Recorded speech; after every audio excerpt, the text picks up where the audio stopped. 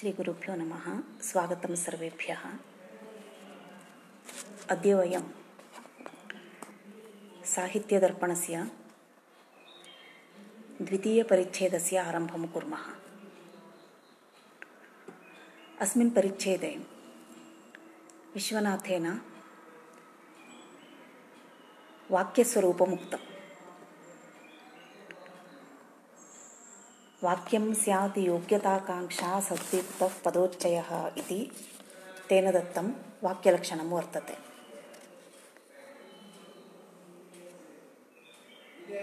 योग्यता आकाङ्क्षा आसक्तियुक्तः पदोच्चयः वाक्यं स्यात् इति अस्य वाक्यस्य अन्वयः। तत्र त्रयः अंशाः सन्ति आकाङ्क्षा योग्यता सन्निधि इत्यपि वदन्ति शास्त्रान्तरेषु आसक्ति इति वक्तुम् एतानि वाक्यार्थज्ञाने आवश्यकानि भवन्ति। एतेषु एकः अंशः नास्ति चेदपि वाक्यार्थज्ञानं न भवति। तत्र वृत्तौ। योग्यताम् एवं विवृणोति। पदार्थानां परस्परसम्बन्धे बाधाभावः इति। अर्थस्य बाधः यत्र न भवति, तत्र योग्यता अस्ति इति अङ्गीक्रियते।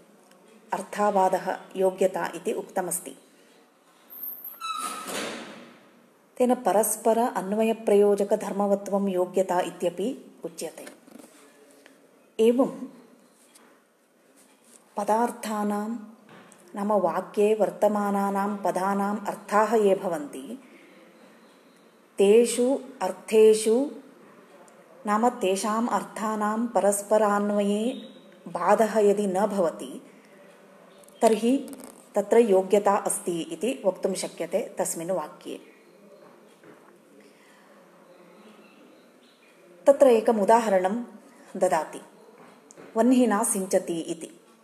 पदोच्चयस्य एतदभावेपि वाक्यत्वे, वह्निना सिञ्चति इत्याद्यपि वाक्यं स्यात्। पदोच्चयस्य, नाम यत् वाक्यम् इति अस्ति। पदोच्चयः वाक्यम् इति वस्तुतः वाक्यस्य लक्षणम्। एतदभावेपि एतदभावेपि नाम योग्यतायाः अभावेपि वाक्यत्वे। वाक्यत्वं यदि स्वीक्रियते, तर्हि वह्निना सिञ्चति इत्याद्यपि वाक्यं स्यात्। वह्निना सिञ्चति इत्येषः प्रयोगः कीदृशः वर्तते? वस्तुतः व्याकरणदृष्ट्या अस्मिन् प्रयोगे कोऽपि दोषः नास्ति।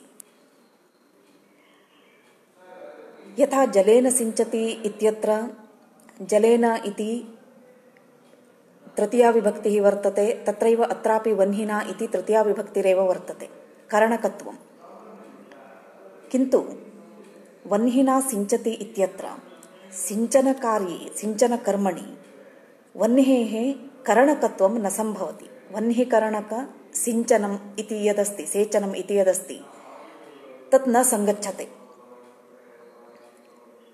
अतः तत्र योग्यता नास्ति इति अङ्गीक्रियते। एतादृशवाक्यानि अथवा एतादृशपदानां समूहः वाक्यमिति नोच्यते इति तात्पर्यम् अस्माभिः ग्राह्यम्। द्वितीयम् आकाङ्क्षा। आकाङ्क्षा नाम प्रतीतिपर्यवसानविरहः इत्युक्तम्। प्रतीतिः नाम पदार्थानाम् उपस्थितिः। पदार्थानाम् उपस्थितेः पर्यवसानं पर्व पर्यवसानं नाम अन्वयबोधजनकत्वेन इच्छाविरहः वाक्ये वर्तमानानां समेषां पदानाम् अन्वयबोधः यदा जायते, तदा आकाङ्क्षा न तिष्ठति, निराकाङ्क्षं भवति। परन्तु तद् यदा नास्ति, तदा आकाङ्क्षा अस्ति इति वक्तव्यं भवति। इत्यस्य तात्पर्यम् एतदेव। यत् वाक्ये वर्तमानानां परस्परम् आकाङ्क्षा पदानां एकं पदम् अन्यस्य पदस्य अर्थस्य अन्वयम् अपेक्षते। सा एव आकाङ्क्षा। इदानीम् एकस्मिन् वाक्ये बहूनि पदानि भवन्ति। तत्र एकं पदं यदा शृणुमः वयं तदा अग्रे किम् इति आकाङ्क्षा उत्तिष्ठति। यदि तादृशी आकाङ्क्षा न भवति तर्हि प्रतीतिपर्यवसानम् अस्ति इति वक्तव्यं भवति तादृशप्रतीतिपर्यवसानविरहः एव आकाङ्क्षा इति विश्वनाथस्य प्रतिपादनम् अस्ति अत्र। एवं सा आकाङ्क्षा तर्हि कीदृशी? कीदृशी इत्युक्ते स च श्रोतुः जिज्ञासारूपः इत्युक्तं। पर्यवसानविरहः प्रतीतिपर्यवसानविरहः श्रोतुः जिज्ञासारूपः। श्रोतुः नाम विषयं यः गृह्णाति सः श्रोता तस्य जिज्ञासारूपः। बुभुत् बुभुत्सा बुभुत्सा नाम बोद्धुम् इच्छा, ज्ञातुम् इच्छा। तादृशरूपः भवति प्रतीतिपर्यवसानविरहः। एवं, जलेन सिञ्चति, पयसा सिञ्चति, पदार्थस्य सिञ्चति इति पदार्थस्य च, पर मध्ये नाम पयसा इति पदार्थस्य सिञ्चति इति पदार्थेन अन्वयबोधजनने श्रोतुः इच्छा इति अत्र ज्ञेयम्।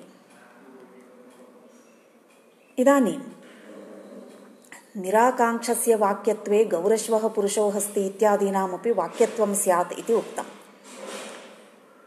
किमर्थम् आकाङ्क्षा निवेशितं वाक्यार्थज्ञाने हेतुत्वेन आकाङ्क्षा किमर्थम् अत्र किं निवे निवेशिता इति इत्यस्य कारणं वदति निराकाङ्क्षस्य, यदि वाक्ये आकाङ्क्षा नास्ति, तथापि वाक्यत्वम् अङ्गीक्रियते चेत् अस्माभिः, तर्हि गौरश्वः पुरुषो हस्ति इत्यादीनामपि वाक्यत्वं स्यात्। गौः, अश्वः, पुरुषः, हस्ति इति चत्वारि पदानि सन्ति। तेन पदोच्चयः अस्ति, पदानां समूहः। किन्तु गौः इति शब्दस्य अर्थेन, अश्व इति शब्दस्य अर्थस्य आकाङ्क्षा नास्ति। तयोः पुरुषशब्दस्य अर्थेन आकाङ्क्षा नास्ति। तेषां हस्तीत्यनेन पदस्यार्थेन हस्ति इत्यस्य पदस्यार्थेन आकाङ्क्षा नास्ति यदि आकाङ्क्षाविरहेपि आकाङ्क्षायाः अभावेपि वाक्यत्वम् अङ्गीक्रियते तर्हि अस्मिन् पदोच्चयेपि नाम गौरश्वः पुरुषो अस्ति इत्यादीनामपि वाक्यत्वं स्यात् इदानीम् अग्रे आसक्तिः आसक्तिः नाम बुद्धेः अविच्छेदः अविच्छेदः द्विधा भवितुमर्हति। द्विधा इत्युक्ते कदाचित् कालविषयकः इत्येव चिन्तयामः। तस्य विवरणं विश्वनाथः एवं करोति। बुद्धिविच्छेदेपि वाक्यत्वे। इदानीम् उच्चारितस्य देवदत्तशब्दस्य दिनान्तरोच्चारितेन गच्छति इति पदेन सङ्गतिः स्यात् इति। इदानीम् एकं वाक्यमस्ति। रामः वनं गच्छति इति एकं वाक्यमस्ति इति चिन्तयन्तु। रामः इति प्रातःकाले, वनम् इति मध्याह्नकाले, पुनः गच्छति इति सायङ्काले यदि उच्चार्यते, तर्हि रामः वनं गच्छति इत्येतद् वाक्यमस्ति इति केनापि ज्ञातुं न शक्यते। अत एव। बुद्धेः विच्छेदः भवति। अतः वाक्यार्थज्ञानं न जायते। एवं बुद्धेः इत्यस्य पदार्थोपस्थितेः अविच्छेदः, अव्यवधानं, झटित्येव। पदानाम् उच्चारण उच्चारणसमनन्तरमेव तस्य ज्ञानं यथा भवति तथा। अव्यवहितपदार्थोपस्थितिरेव आसक्तिः इत्युच्यते। व्यवधानं कथं भवति? कालबाहुल्येन भवति। यद् मया इदानीम् उदाहरणं दत्तं तादृशरीत्या व्यवधानं सम्भवति। पुनः प्रकृत प्रकृते अनुपयुक्तपदार्थोपस्थित्यापि भवति। इत्युक्ते कदाचित् नानार्थशब्दाः भवन्ति। तदा अस्मिन् सन्दर्भे उच्चारितकाले उच्चारणं यस्मिन् काले कृतमस्ति, तस्मिन् काले यस्य अर्थस्य प्रकृतत्वं नास्ति। तस्य अर्थस्य उपस्थित्यापि व्यवधानं भवति। परन्तु अत्र इदानीम् उच्चारितस्य देवदत्तशब्दस्य दिनान्तरोच्चारितेन गच्छति इति पदेन सङ्गतिः स्यात्। नाम आसक्त्यभावेपि बुद्धेः विच्छेदेपि वाक्यत्व अङ्गीकारे। एवं रीत्या वाक्यार्थज्ञाने हेतुभूतानां त्रयाणाम् अंशानां प्रतिपादनं विश्वनाथेन एवं कृतमस्ति। इदानीं प्रतीतिपर्यवसानविरहः आकाङ्क्षा इत्युक्तम्। तत्र वस्तुतः प्रतीतिपर्यवसानं क्वचित् स्वाभाविकं भवति, क्वचित् जन, जनित अन्वयबोधत्वेन भवति, किन्तु अत्र विश्वनाथेन स्वाभाविक प्रतीतिपर्यवसानविरहस्यैव उदाहरणं दत्तं। गौरश्वः, पुरुषो अस्ति इत्यत्, इत्यत्र प्रथमान्तपदोपस्थापितानां पदार्थानां अभेदातिरिक्तसम्बन्धेन अन्वयबोधः अव्युत्पन्न इति पदार्थोपस्थितेः अन्वयबोधजनने श्रोतुः इच्छाविरहः भवति। अत्र अभेदाद्, अभेदातिरिक्तसम्बन्धेन बाध बाधः वर्तते। अभेदातिरिक्तसम्बन्धेन यदि उच्यते, तर्हि बाधः अस्त्येव। परन्तु सत्त्वादिसम्बन्धेन बाधः नास्ति। अतः बाधविरहरूपयोग्यता तु अस्त्येव। पदार्थोपस्थितेः अव्यवधानरूप आसक्तिरपि अत्र सुप्रतीता, अत्र वर्तते इति ज्ञायते एव बाधा नास्ति। योग्यता आसत्योः सत्त्वेपि गोपदश्रवणानन्तरम् अश्वपदश्रवणेच्छायाः विरहात्।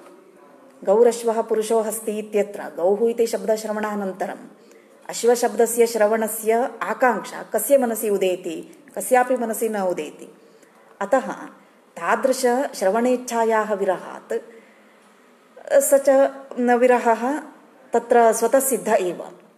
तेन आकाङ्क्षा शून्यत्वमस्ति अस्मिन् वाक्ये इति अत्यन्तं स्वाभाविकमेतत्। स्वाभाविक एव प्रतीतिपर्यवसानविरहः अत्र भवति। पुनः अन्यरीत्यापि भवति तत्र विमलं जलं नद्या कच्छे महिषश्चरति इत्यादि उदाहरणानि तत्र दत्तानि वर्तन्ते। तत्तु अत्र अप्रस्तुतं भवति। एवं योग्यता, आकाङ्क्षा, आसक्ति, एते त्रयः अंशाः वाक्यार्थज्ञाने हेतुः। नाम त्रयः अपि मिलित्वा एकः हेतुर्भवति। पृथक् पृथक् रूपेण प्रत्येकमपि सम्पूर्णतया हेतुः न भवति। अत्र आकाङ्क्षा योग्यतयोः।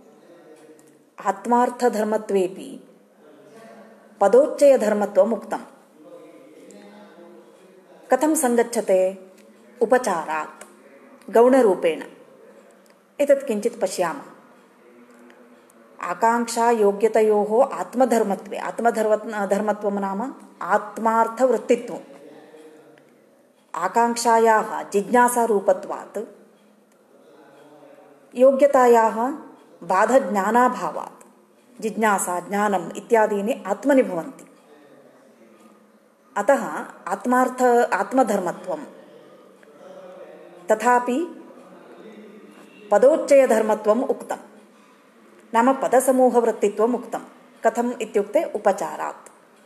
उपचारः नाम गौणः इत्यर्थः अप्राधान्येन उक्तम्। एवं यत्र यत्र उपचारः एवं भवति, तत्र सर्वत्रापि कश्चन सम्बन्धः अपेक्षते। अत्र कः सम्बन्धः अस्ति? स्वजन्यजनकत्वरूप परम्परासम्बन्धः वर्तते। एवं रीत्या कथं समन्वयः करणीयः? अत्र आकाङ्क्षा योग्यतयोः आत्मार्थधर्मत्वेपि पदोच्चयधर्मत्वं स्वजन्यजनकत्वरूप परम्परा इति समन्वयः अत्र करणीयः। एवं रीत्या वाक्यस्वरूपं विव्रीय। साहित्यदर्पणकारः अग्रे महावाक्यस्वरूपं विवृणोति। वाक्योच्चयो महावाक्यं पदोच्चयः वाक्यमित्युक्तम्। अत्र वाक्योच्चयः एव महावाक्यम्। तर्हि पूर्वं पदोच्चयः वाक्यम् इत्यस्मिन् सन्दर्भे आकाङ्क्षा योग्यता, आसक्तीनां वाक्यार्थज्ञाने हेतुत्वं तेन प्रतिपादितम् अत्र वाक्योच्चयः महावाक्यम् इत्युक्ते केषाञ्चन वाक्यानां समूहः एव महावाक्यं भवति वा इति सन्देहः उदेति। तस्य सन्देहस्य निवृत्त्यर्थं स्पष्टतया वदति यत् वृत्तौ योग्यता आकाङ्क्षा आसक्तियुक्त इत्येव। अत्रापि वाक्योच्चयः अपि योग्यताकाङ्क्षा, आसक्तियुक्तः वाक्योच्चयः महावाक्यम् इत्येव अन्वयः करणीयः। वाक्यानां समूहः यदा परस्परम् आकाङ्क्षा, योग्यता, आसक्तियुक्तानि युक्तः भवति समूहः, तदा महावाक्यमिति उच्यते।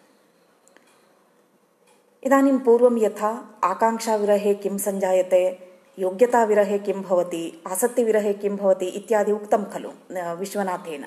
तथैव अत्रापि एवं वक्तुं शक्यते। केवलं वाक्योच्चयमात्रं महावाक्यम् इति यदि उच्यते, नाम आकाङ्क्षा, योग्यता आसक्तियुक्तत्वं नास्ति। केवलं वाक्योच्चयमात्रं महावाक्यम् इति यदि उच्यते, तदा अन्धो बभूव देवदत्तः सः चन्द्रं पश्यति। इति वाक्यमपि महावाक्यमिति वक्तव्यं भवति। अत्र अन्धो बभूव देवदत्तः सः चन्द्रं पश्यति इत्यत्र कस्य विरहः वर्तते? योग्यतायाः विरहः वर्तते। कुतः इति चेत् अन्धो बभूव देवदत्तः इत्यत्र देवदत्तः अन्धः इति उक्तमस्ति। पुनः सः चन्द्रं पश्यति इत्यत्र कथं सङ्गच्छते? तेन योग्यतायाः विरहः। अन्नं पचति, नद्यां सन्त, सन्तरति। इत्यपि वाक्यद्वयमस्ति। परन्तु अन्नं पचति इत्यस्य वाक्यस्य अर्थेन सह नद्यां सन्तरति इत्यस्य वाक्यस्य अर्थस्य आकाङ्क्षा नास्ति। तेन अत्र आकाङ्क्षायाः अभावः। चैत्रस्य पुत्रः अभूत्, सः तं लालयति। इत्यनयोः वाक्ययोर्मध्ये यद्यपि आकाङ्क्षापि अस्ति, योग्यतापि अस्ति, तथापि यदि भिन्नप्रहरोच्चारितानि भवन्ति पूर्ववत् यथा प्रातः, मध्याह्ने सायङ्काले इत्यादि मया उक्तं, तथा उच्चारितानि, उच्चारिते वाक्ये आसक्तिः न भवति। तेन आसक्तिविरहात् इदमपि महावाक्यं भवितुं नार्हति। एवं वाक्यानां मध्येपि आकाङ्क्षा, योग्यता, आसक्तिः इत्येतेषां वाक्यार्थज्ञानहेतुभूत अंशानाम् आवश्यकता अवश्यं भवति। इत्थं वाक्यं द्विधा मतं द्वितीयपरिच्छेदस्य आरम्भे वाक्यनिरूपणमेव आरब्धं विश्वनाथेन। तस्य इदानीं फलितार्थः। वाक्यं द्विधा वाक्येन महावाक्येन च एवं द्विधा। इत्थमिति वाक्यत्वेन महावाक्यत्वेन च इति वृत्तौ तेन उक्तमस्ति। इदानीं पदार्थानां मध्ये आकाङ्क्षायोग्यता अस्तित्वं अस्माभिः ग्रहीतुं शक्यते। किन्तु वाक्यानां मध्ये किं जायते? कथं समन्वयः भवति, कथं महावाक्यत्वं सञ्जायते इति यदा विचार्यते अस्माभिः, तदा तस्य स्पष्टतार्थं, विश्वनाथेन किं कृतं? तन्त्रवार्तिकस्य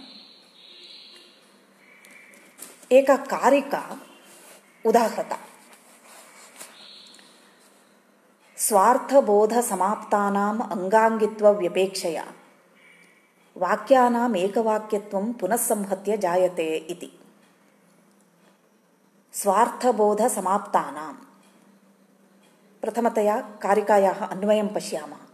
स्वार्थबोधे समाप्तानां वाक्यानां पुनः अङ्गाङ्गित्वव्यपेक्षया एकवाक्यत्वं जायते। इति अन्वयः करणीयः। स्वार्थबोधे, स्वार्थबोधः, स्वस्य अर्थः स्वार्थः।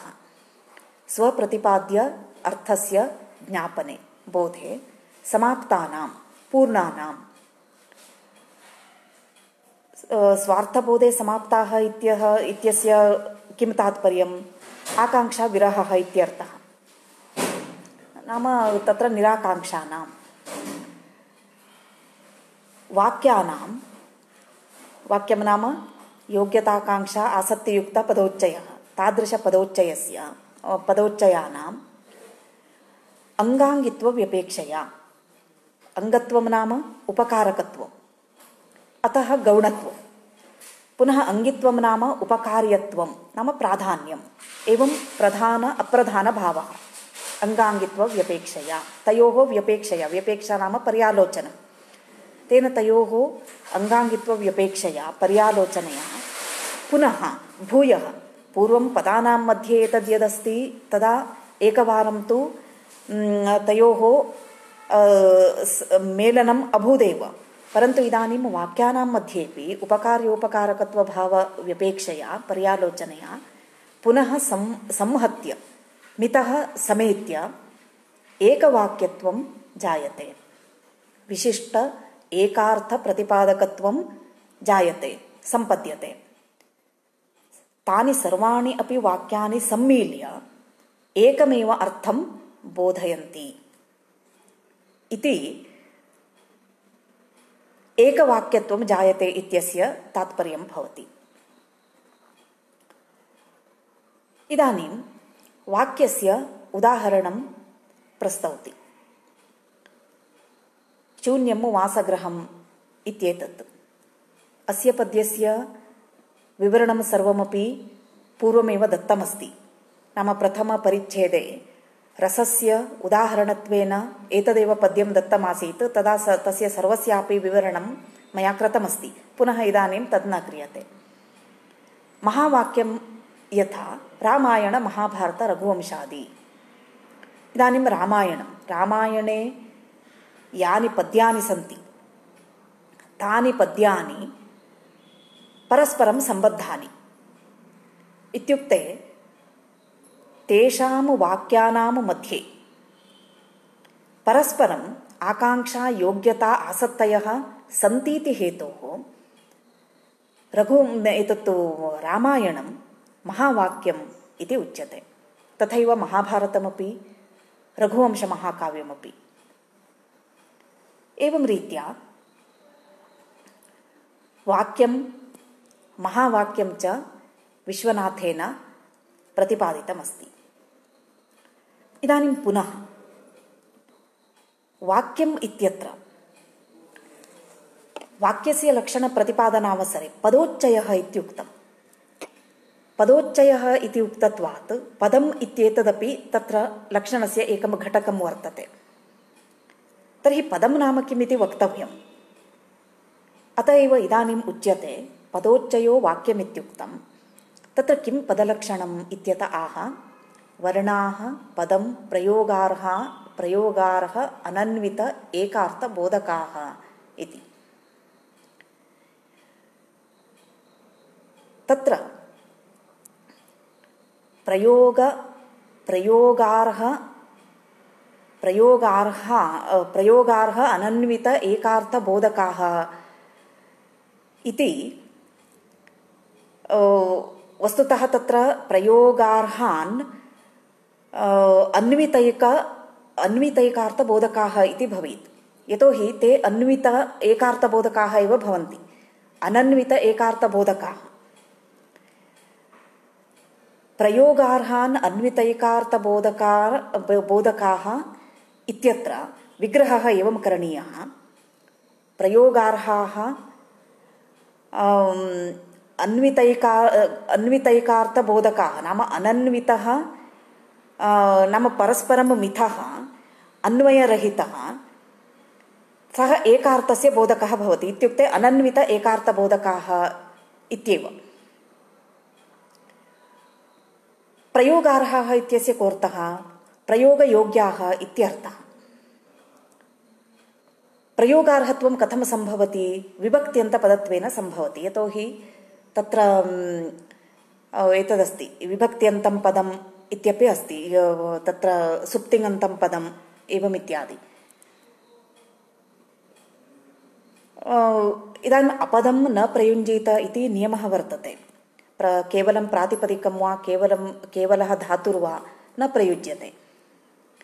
तेन यत्र अपदं इति अपरिनिष्ठितम् इति ते कीदृशाः भवन्ति अन्वितैकार्थबोधकाः।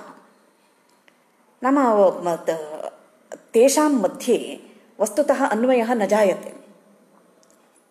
इदानीं पदम् अस्ति। पदम् इत्युक्ते तत्र बहवः वर्णाः भवन्ति। पुनः अनन्वितः नाम तयो तेषां मध्ये अन्वयरहितः यः एकः अर्थः तस्य बोधकाः प्रतिपादकाः भवन्ति एकार एकैक अर्थबोधकाः इति तादृशवर्णाः स्वरव्यञ्जनरूपाः पदं पदसंज्ञकम् इति वर्तते प्रयोगयोग्याः वर्णाः भवेयुः अनन्विताः नाम एकार्थ अनन्विताः एव। अनन्विताः इत्यत्र वस्तुतः अन्येन पदेन सह अन्वयं न प्राप्नुवन्ति इत्येव। अन्य, अन्येन पदेन यदि अन्वयं प्राप्नुवन्ति, अन्यपदार्थेन सह अन्वयः प्राप्यते चेत् वाक्यं भवति। पदं न भवति अस्माभिः उक्तं तत्र। आकाङ्क्षा भवति वाक्ये परस्परं पदानां मध्ये इति। तेन अन्यपद पदार्थेन अन्वयः यस्य नास्ति. तत् पदं भवति. तेन एकार्थबोधकाः एकमेव अर्थं बोधयन्ति. सर्वेपि वर्णाः मिलित्वा एकमेव अर्थं बोधयन्ति. एवं रीत्या प्रयोगयोग्याः अन्यपदार्थेन सह अनन्विताः एकमेव अर्थं ये बोधयन्ति, ते वर्णाः पदम् इति उच्यते। उदाहरणं ददाति। किम् उदाहरणं? घटः इति अस्ति। यथा घटः। घटः इत्यत्र सर्वेपि सर्वेपि लक्षणांशाः सङ्गच्छन्ते। प्रयोगार्हः भवति घटः इति प्रथमा विभक्त्यन्तपदं पुनः घटः इत्यत्र अन्यत् पदं नास्ति तेन अन्यपदार्थेन सह अन्वयः नास्ति तेन अनन्वितः घकारोत्तर अकारोत्तर टकारोत्तर अकारोत्तर विसर्गः एतेषाम् आनुपूर्वी इति यदुच्यते अस्य सम्मेलनेन नाम समूहेन एकः एव अर्थः बोध्यते कम्बुग्रीवादिमान् घटः इति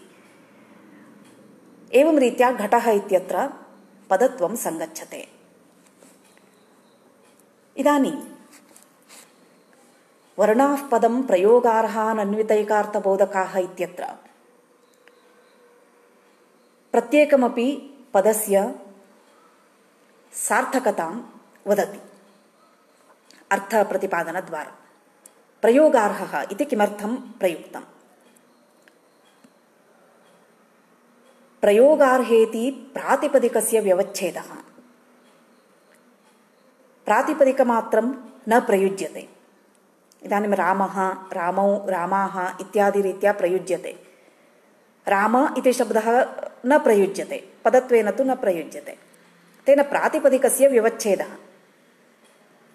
केवलं केवलस्य धातोः अपि व्यवच्छेदः इति वक्तुं शक्यते। अनन्वितेति वाक्यमहावाक्ययोः। अत्र तु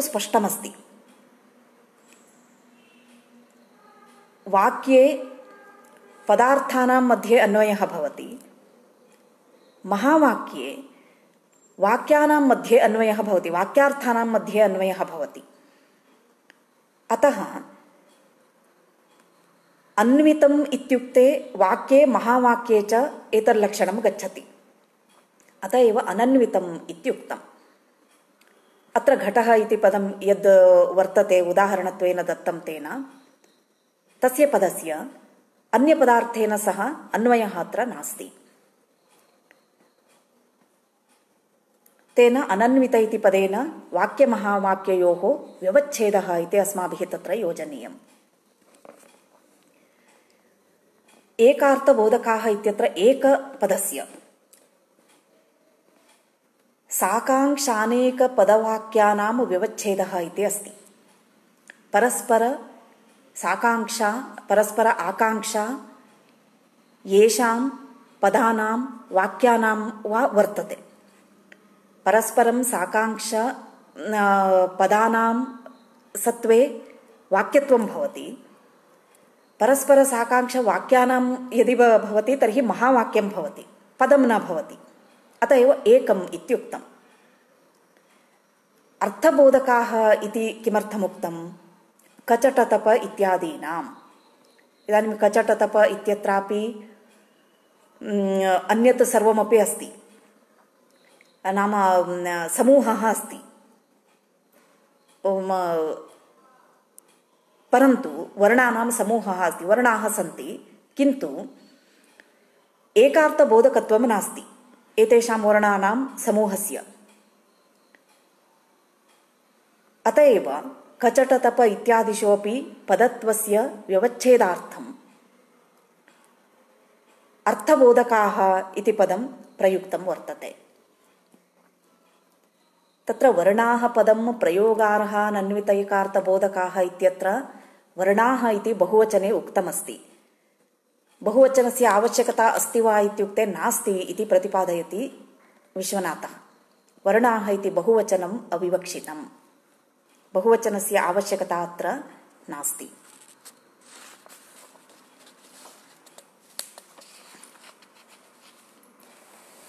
अग्रे वाच्य लक्ष्य व्यङ्ग्यरूप अर्थानां स्वरूपं वक्ष्यति विश्वनाथकविराजः तं विषयं वयम् अग्रिमपाठे पश्यामः। धन्यवादाः।